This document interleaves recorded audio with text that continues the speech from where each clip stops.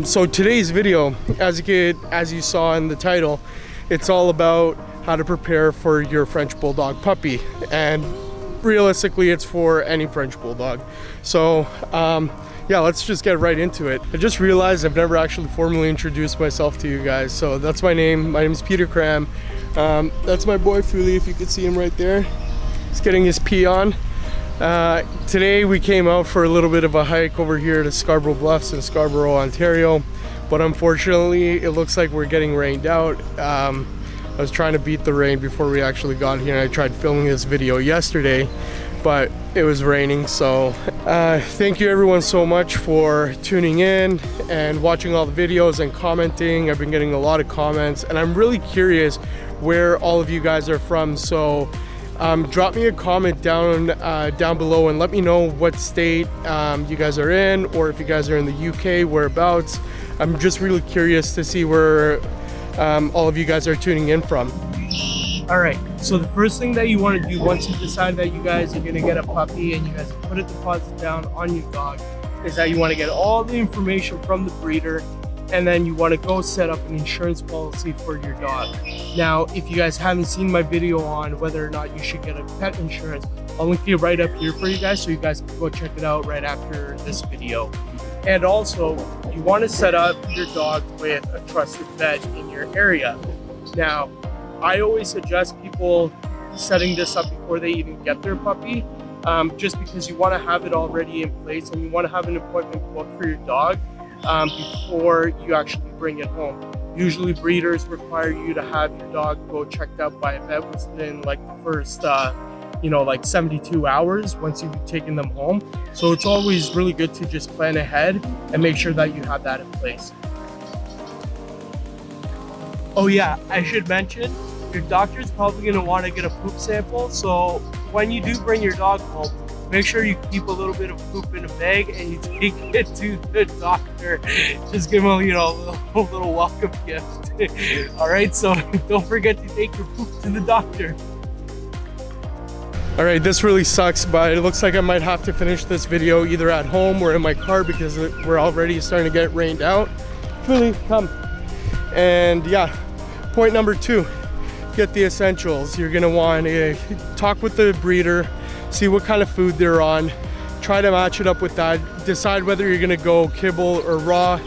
I think for French Bulldogs, raw is always the best way to go. If you guys haven't seen my video about raw food, I'll link it up here for you guys. And if you guys haven't seen the video on uh, what goes into Fuli's Bowl, I'll also throw that right up here. But you wanna make sure you get the essentials? Essentials, essentials. so you wanna get the essentials. You just want to make sure that you get all the essentials for your dog, you know, food, bed, bowls, leash. Um, hold off guys on getting like clothes for your dog, like PJs. Ooh, look at that bird. Uh, that bird almost hit me. got lost train of thought. Oh, oh god, it's, it's attacking me.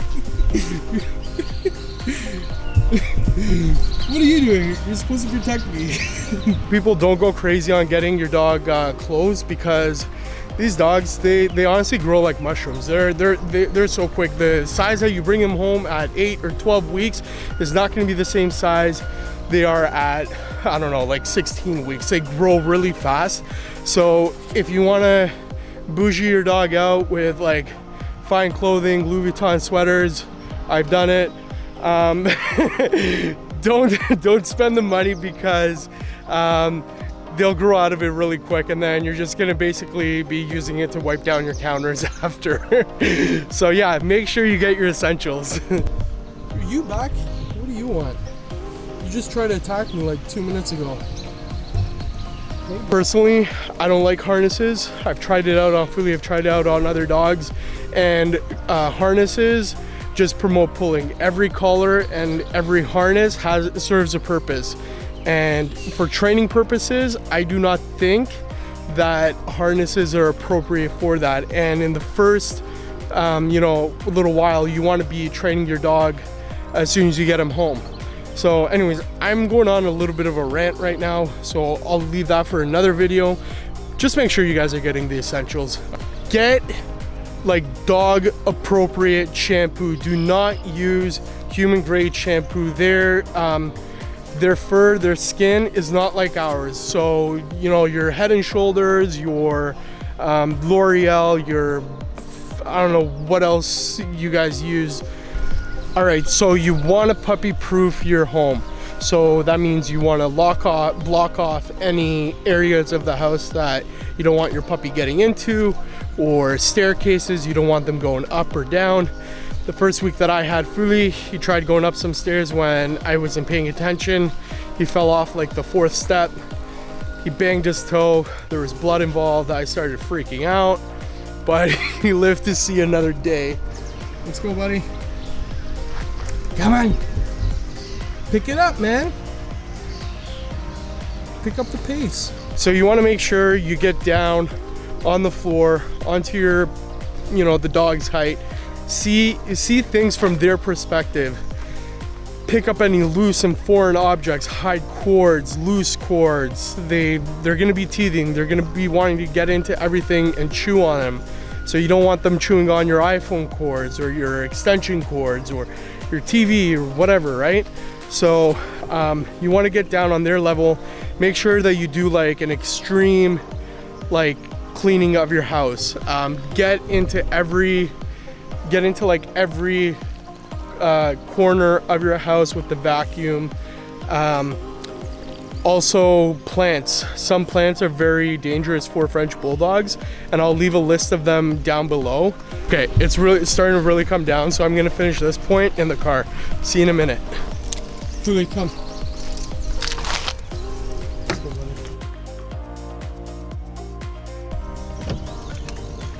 All right, so this next point, um, if you guys are a young family and you have kids and you guys are deciding that you're gonna bring a dog home, I think it is very important for any family that has kids is to sit them down and explain to them that there's gonna be a dog in the house.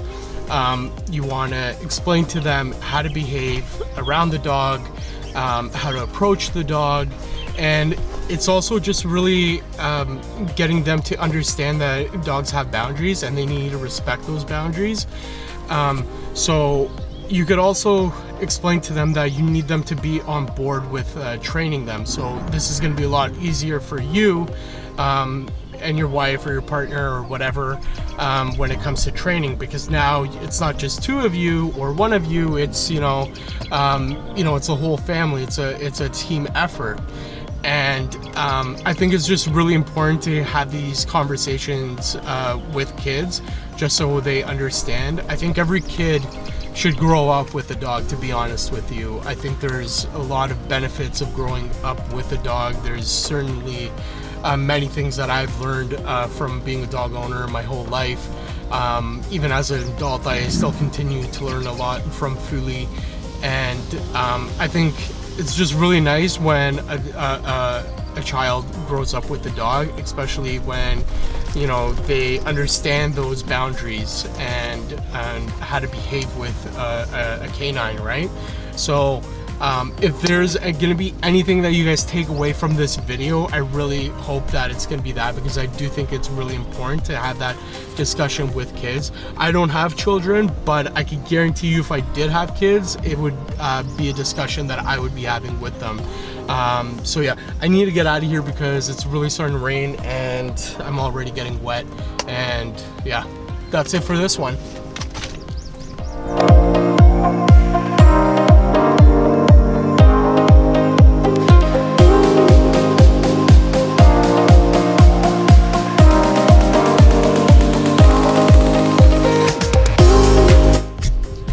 Right, so we're back at home and I was really hoping that I could finish off this vlog before it started raining, but the weather didn't want it that way. So my second last tip to you guys is that before you guys bring your dog home, make sure you get some sleep.